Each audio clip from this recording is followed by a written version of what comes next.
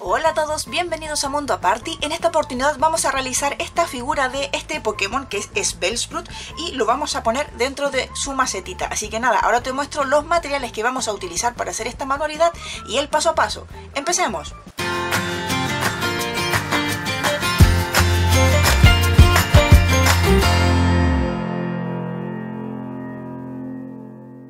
Para realizar nuestra figura de Bellsprout vamos a necesitar dos tipos de verde para las hojas. En este caso tengo uno oscuro y uno un poquito más clarito. Para lo que es la parte de la cabeza vamos a necesitar blanco, vamos a necesitar un amarillo que es este, es el por así decir el amarillo medio. Vamos a necesitar un amarillo más clarito que en este caso es amarillo pastel.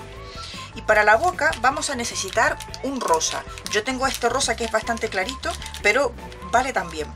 Luego para el tronco vamos a necesitar marrón y también vamos a necesitar blanco para la parte de los ojos, esta zona blanca de aquí, y negro para todo el contorno. Además vamos a necesitar nuestras placas de jamavid y vamos a necesitar papel para planchar y una plancha. En el caso de esta manualidad en particular voy a utilizar tres placas de Jamavid MIDI.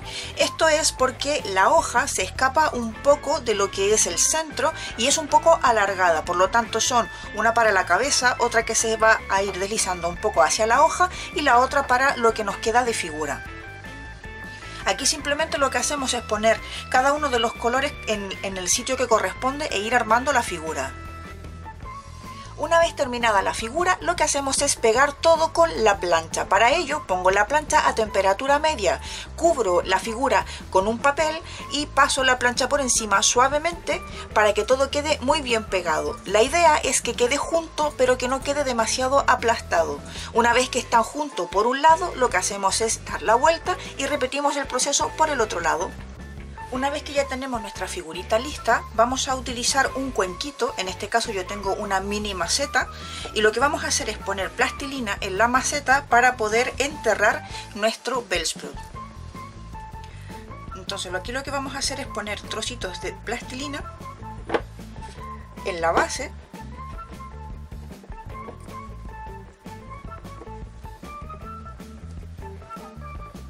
para de esta manera poder enterrar nuestro nuestra figura. Y una vez enterrada tendríamos esto así. Como veis, aquí está abajo completamente firme. Esto se mueve porque el Hamabit es flexible. Pero ahora lo que voy a hacer es con Hamabit cubrir todo lo que es la plastilina para que se vea bonita. De esta manera tendríamos así la base cubierta con jamabit, no importa que estén sueltitos, y ya tendríamos nuestra manualidad terminada. Y eso es todo lo que os quería mostrar hoy. Esta es una decoración muy bonita sobre todo si os gusta Pokémon y a lo mejor Bellsprout es vuestro Pokémon favorito como es uno de los míos y así podéis decorar una habitación para que quede muy colorida muy bonita. Así que nada espero que os haya gustado. Si es así darle like a este vídeo. Y nada te puedes suscribir aquí si te gusta lo que veis en el canal. Y por aquí te dejaré un vídeo que quizá no hayáis visto. Así que nada nosotros nos veríamos en el siguiente vídeo con ideas y más tutoriales. Muchas gracias por la visita y nos veríamos en el próximo vídeo. Un besote. Chao, chao.